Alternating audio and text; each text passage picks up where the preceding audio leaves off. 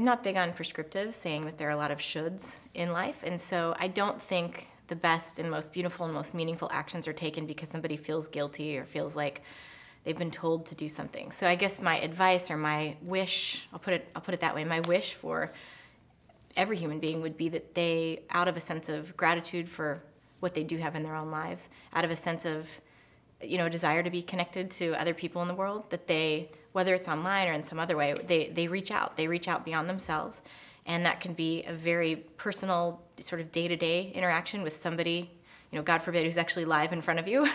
um, or it can be online. I mean, we can create communities and can sort of express our identities online now in a way that, that we just couldn't do um, decades ago. So I don't necessarily have a, sort of a hey, everyone, you should all go do this. Uh, uh, but I, my wish is that everybody would get to discover the joy of being more connected to one another. And it's, it's, a, it's a, I mean, it's a selfish thing.